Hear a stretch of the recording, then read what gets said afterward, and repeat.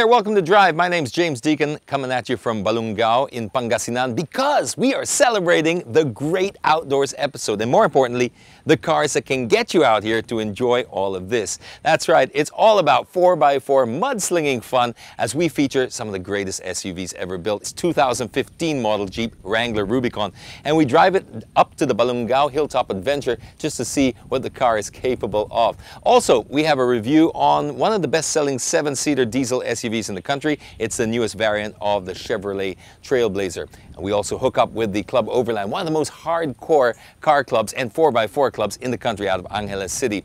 All that and more is coming up, including 4x4 accessories, what to take on your adventure. But right now, let's kick things off with the iconic FJ Cruiser.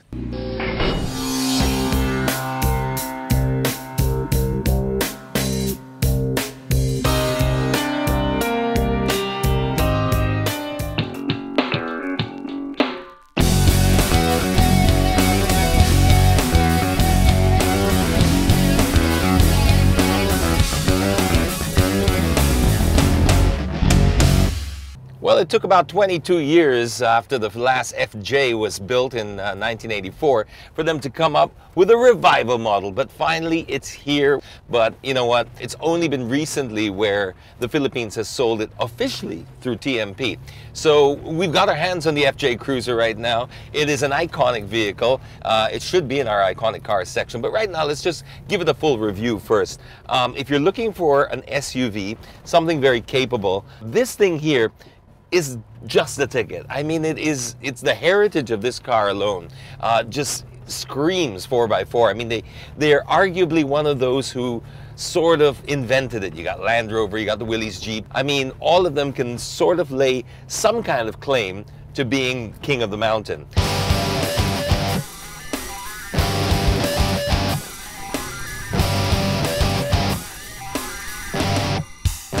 Now, this car itself, as a revival model, of course has softened up quite a lot over the years. So it's designed to sort of bring it back, but, you know, take away the harshness and stuff that sort of made it uh, a proper FJ. So they've shoved in a V6 engine, 4 liter, uh, good for about 260 horsepower.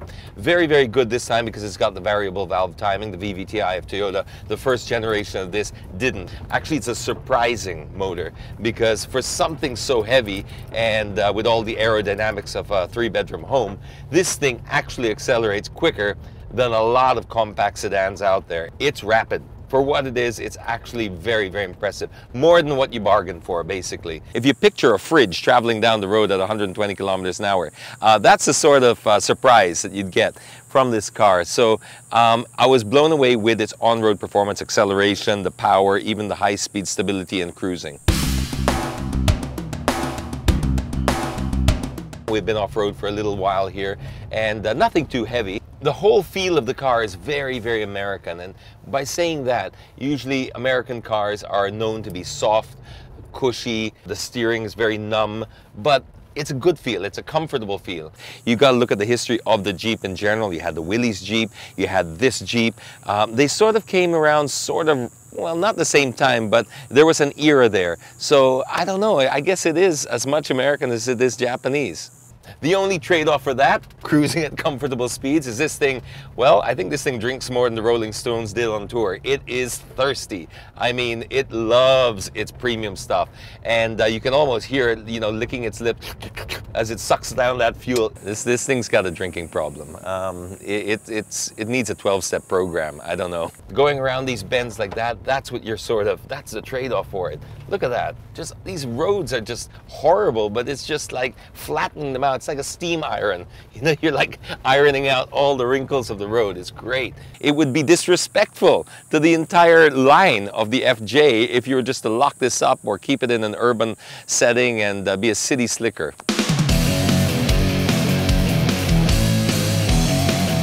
Some of the key features that uh, made the FJ stand out like this windscreen here, which is almost vertical. It's almost just like a straight drop They've kept that. Very good for visibility, horrendous for aerodynamics. Also, they kept the three windscreen wipers here, so it, it, it, covers a big surface area. Because of the design of the windscreen, they had to do that. Then you have this, this very bulky, but yet visually it, it, it works with the car. This uh, compass, of course, you got your outside temperature and the the incline meter here so you can sort of see where you are. Although it, it's pretty useful for off-road, for day-to-day -day stuff. The only thing really, I mean, if, if there are complaints, obviously the fuel consumption, not his strongest point. Also, the interior, while I don't mind it being bare because this is what it's designed to do, the stereo is just a little too basic. I mean, this is something you would probably take out and replace immediately with an aftermarket unit. Not because it doesn't sound great, it, it sounds okay, and you can pair your phone with it. It just doesn't seem to stream Bluetooth. Well, it's, it's improved in every way, except if I was going to suggest an improvement to Toyota, I think there are some areas I would like a bit more driver information, uh, fuel consumption, real time, um, bits and pieces. We see this in, we got used to it in every other car with these multimedia displays displays. So I'd like to see that somewhere in the car. Um, and if they could keep it looking retro, that would be even better. Um, and the stereo. The stereo needs either Bluetooth streaming or a USB or something to be able to sort of listen to your music uh, that, that we listen to it nowadays. It's never on a CD anymore.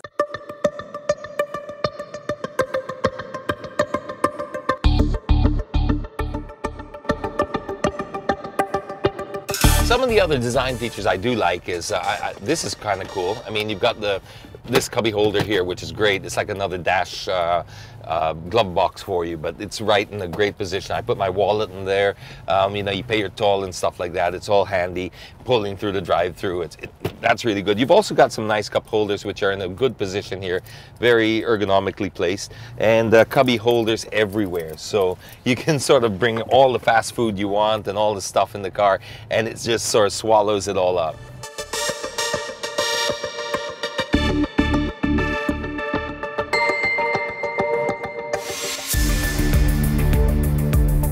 Really the only thing missing, I think, right now, it, it performs beautifully on the road, uh, surprisingly beautiful actually on the road, but uh, it won't be an FJ if it can't perform off the road. So this is a true test coming up. This is where the incline meter actually comes in handy. Oh, there we go, we're losing some traction now. Yeah, baby! So you can feel it actually being held back by the tires. Yep, so you can feel sort of, okay, I'm lo I've lost traction there in the back. You can feel that the, it's only being held back by the tires because we're running on street tires right now. Yep, I can definitely say that this is a very capable machine.